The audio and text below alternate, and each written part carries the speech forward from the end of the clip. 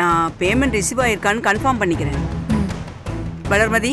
Madam? BSc computer science second year லாவண்யாங்கிற ஸ்டூடெண்ட்டோட semester fees பெய்டா இருக்கான்னு பாருங்க. ஆ ஓகே மேடம். இதோ பார்க்குறேன்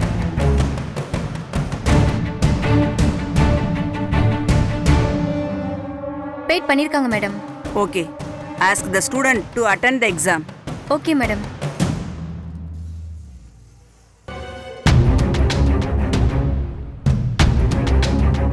Lavanya எதுக்கு இங்க நின்றுட்டு இருக்க?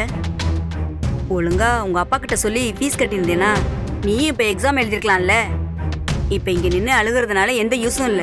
நீ ஃபர்ஸ்ட் உன் பேரண்ட்ஸ் கிட்ட பேசு. லவண்யா மேம் நீ போய் எக்ஸாம் எழுதும் என்ன சொல்றீங்க மேம் ம். மேடம் அவர் ஃபீஸ் கட்டல மேடம் இல்ல மேடம் இப்பதான் ஆன்லைன்ல பே பண்ணிருக்காங்க நீ எக்ஸாம் ஹாலுக்கு போமா ஒரு நிமிஷம்.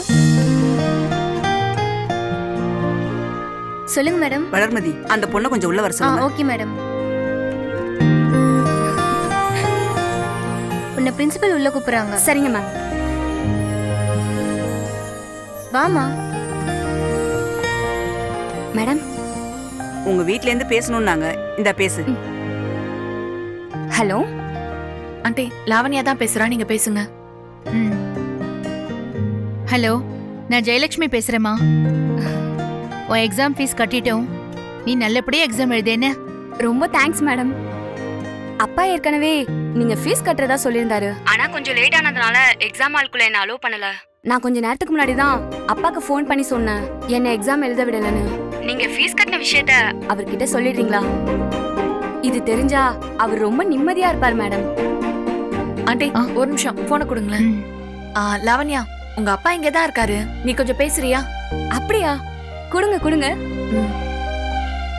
உங்க பொண்ணு லைன்ல அப்பா? ஹலோ?